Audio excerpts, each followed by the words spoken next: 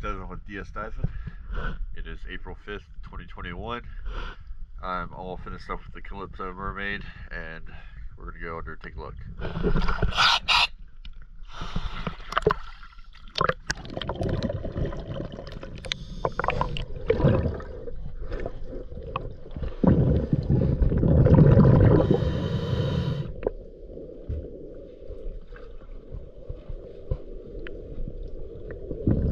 you